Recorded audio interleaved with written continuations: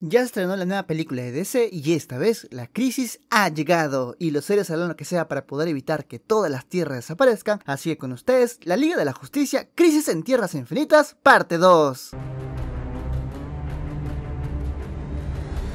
Esta película empieza viendo una persona riéndose muy similar a lo que hace el Joker y Batman lo está persiguiendo y al detenerlo, aquí se dará cuenta de que es Jim Gordon, que fue alterado por el gas de la risa del Joker. Batman intenta curarlo, pero lamentablemente ya es demasiado tarde, ya que Jim ha muerto. El Joker está detrás de todo esto y parece que el multiverso ya lo sabe todo el mundo, ya que el Joker sabe que hay una infinita cantidad de Jim Gordon que puede matar. Aquí veremos que el plan del Joker es destruir la torre que los seres construyeron en la película pasada, y aquí veremos que Killer Croc y Solomon Grundy también aparecen y enfrentan a Batman. Pero aquí nuestro héroe es apoyado por toda la Batifamilia de otros universos, ya que recordemos que este Batman nunca adoptó a nadie y tampoco tuvo hijos y siempre estuvo solo. Los héroes logran vencer, pero Batman no quiere ver a los demás porque es demasiado irresponsable poner en riesgo a los niños, pero aún así los chicos están muy agradecidos por todo lo que Bruce hizo por él, aunque no es el Bruce de su tierra. En la película pasada, Barry desapareció y los héroes lo han estado buscando, pero lamentablemente no lograron encontrarlo, pero parece que Batman tiene fe de encontrarlo, aunque todo el mundo cree que ha muerto. Mientras tanto, ahora veremos dos historias que pasaron antes del inicio de la crisis, y aquí veremos a Psycho Pirata y le cuenta a un Doctor Fake cómo fue toda su historia. Cuando era un pequeño Charles, tenía habilidades y una de estas habilidades era sentir las emociones de todas las personas. Y eso le afectaba mucho cuando estaba con sus padres, ya que sus padres peleaban muy seguido. Mientras tanto, ahora vamos con la destrucción de Krypton, donde veremos que el monitor se encuentra presente observando toda esta destrucción, debido a que su raza no puede interferir en estas catástrofes. Satélite, la máquina que tiene el monitor, le avisa sobre una persona que chocó con su nave,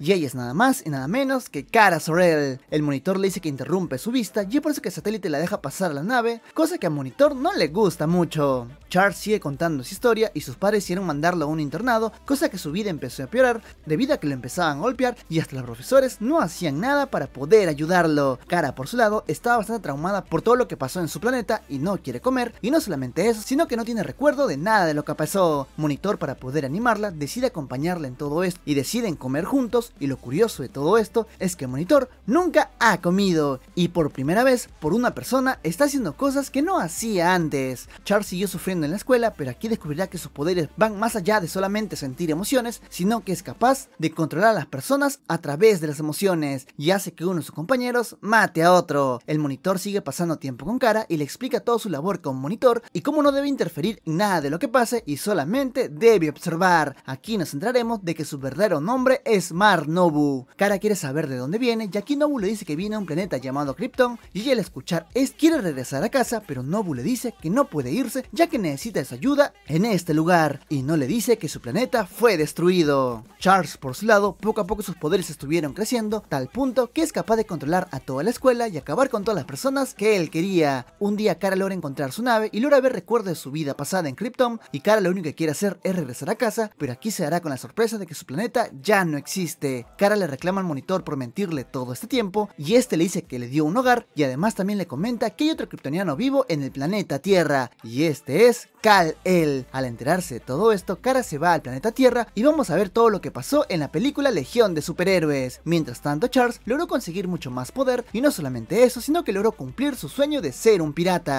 Pero lamentablemente su nave fue destruida y cuando estuvo a punto de morir, decidió usar sus poderes donde para su suerte aquí es rescatado por atlantianos. Charles logra controlarlos y no solamente eso, sino que fue capaz de controlar al mismísimo Aquaman. Ahora Charles vuelve con el Dr. Fate y quiere seguir torturándolo, pero este le dice que tiene una labor muy importante en la crisis que está por venir y es por eso que el Doctor le da el poder a Charles de poder viajar a otros universos. El monitor ya sabe lo que va a pasar y sabe que las tierras serán destruidas por la ola de antimateria, mientras que Satélite estaba viendo todo lo que estaba haciendo Cara con la legión de superhéroes. Y aquí el monitor aprenderá que a pesar de saber que las cosas son imposibles de arreglar, se puede hacer algo para poder remediar las cosas. Satélite decide traer a Cara de nuevo a la nave, pero esta vez las cosas serán diferentes, ya que Nobu ya no será un observador y tratará de detener la destrucción de todas las tierras. Y es por eso que le pide ayuda a Kara. Nobu le da un poco de su poder y así convirtiéndola en su emisario llamado Harbinger. Psycho Pirata por su lado ha estado usando su nuevo poder para poder viajar entre tierras y todo esto para poder encontrar uno que esté bajo su control. Pero por más que intenta, no puede hacerlo y aquí aparece ante él Harbinger y le dice que lo necesita para la crisis que viene. Ahora sí, en la actualidad, después de la primera película, Superman está viendo una ola de antimateria que se acerca a la Tierra 18 y es por eso que Superman se encarga de poner en marcha la torre. Aquí veremos que los héroes deben estar atentos a todas las tierras para poder activar las máquinas cuando llegue una nueva ola y Superman necesita ayuda y es por eso que deciden mandar a Kara. Aquí veremos que ella está muy desorientada por todo lo que pasó en la película pasada, ya que perdió a todos sus amigos y no solamente eso, sino que todos sus amigos fueron eliminados de la historia misma. Los chicos logran poner a salvo la Tierra y tienen que regresar a la nave y aquí conoceremos a un chico llamado Kamandi y lo van a mandar a una Tierra a reparar una de las torres debido a que él conoce muy bien este tipo de Tierra, no irá solo ya que aquí conoceremos a Solobar. Kamandi no confía en él debido a que en su universo los gorilas solamente lo estaban cazando, pero aún así Solobar le dice que aprenda a confiar en él y juntos ayudarán a arreglar esta torre para poder salvar esta Tierra. Psycho Pirata por su lado está bastante cansado ya que su trabajo es tranquilidad y esperanza a todas las tierras y ahora siente que su poder no es suficiente para todas las tierras. Es por eso que Nobu decide darle un poco de su poder ya que confía que todos están en este lugar para poder salvar las tierras. Los seres más inteligentes siguen viendo cómo detener la ola de antimateria, pero aquí se darán cuenta de que ahora reciben más ataques repentinos de antimateria y los chicos tienen la teoría de que alguien o alguien los está atacando, lo cual para algunos es una locura ya que significaría que la ola de antimateria lo manda alguien con vida. El escarabajo azul por su lado sabe de que Psycho Pirata no es de confianza, pero por alguna extraña razón, aquí Charles es teletransportado a otro lado. Las cosas para los héroes están complicándose, ya que en la tierra donde está Batman recibe ataque de algunos demonios sombra. Batman trata de pedir ayuda, pero aquí se enterará de que todas las tierras están sufriendo este ataque. Los héroes lo enfrentan, mientras que Charles está hablando con una nueva entidad conocida como el Antimonitor. Este le pregunta por qué está ayudando a Nobu y ahora le ofrece la oportunidad de tener su propio mundo, uno el que siempre ha deseado y es por eso que ahora Charles trabajará para el mismo antimonitor. La reina Hipólita de una tierra donde las amazonas gobiernan el mundo tienen problemas con estas sombras y es por eso que Wonder Woman decide ir a ayudar a su propia gente, aunque no sea de su propia tierra. Batman por su lado recibe el apoyo de la Batifamilia y se dan cuenta que estas criaturas son sensibles a la luz. Kamandi y Solovar siguen reparando la torre, pero lamentablemente aquí también reciben el ataque de las sombras. Los héroes se defienden como pueden, pero aquí veremos que Solovar logra acabar con todas las sombras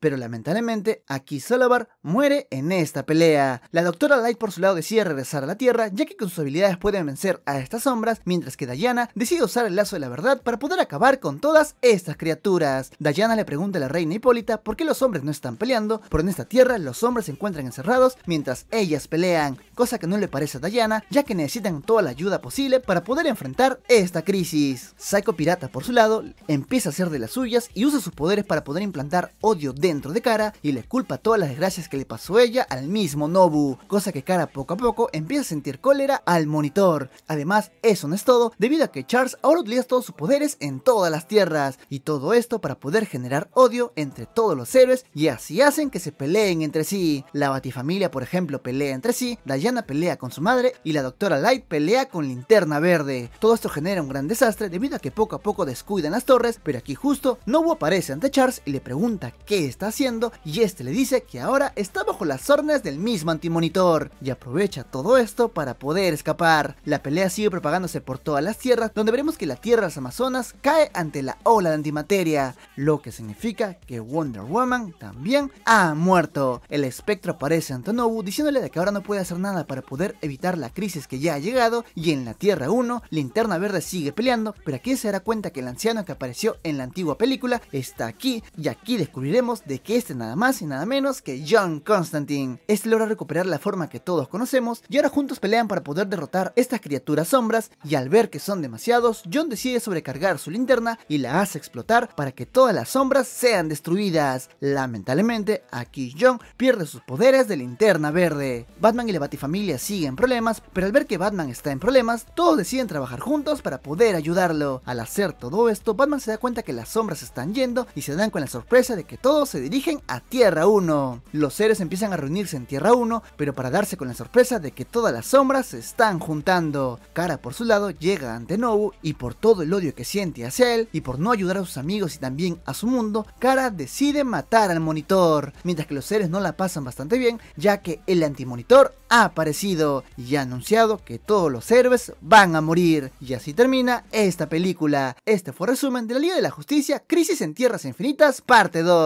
Si te gustó, no olvides dejar un like y un comentario y no olvides seguirme en mis redes sociales, especialmente en Instagram para que tengas una relación más cercana conmigo. Le dejo todo el link de mis redes abajo en la descripción. Eso fue todo por el día de hoy, soy Daniel de Geek y nos vemos en la siguiente. Muchas gracias a los miembros del canal, ya que gracias a ustedes puedo traer contenido cada semana. Le mando un abrazo enorme de parte del equipo de Geek.